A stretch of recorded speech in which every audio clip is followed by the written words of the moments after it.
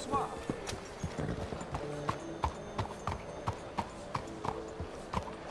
Good evening, mister. Howdy. Yeah. Move out of the way. Not much of a hole there, huh?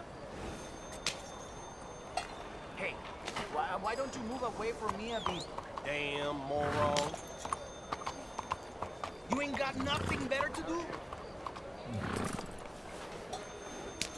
I'll just act like you're not here.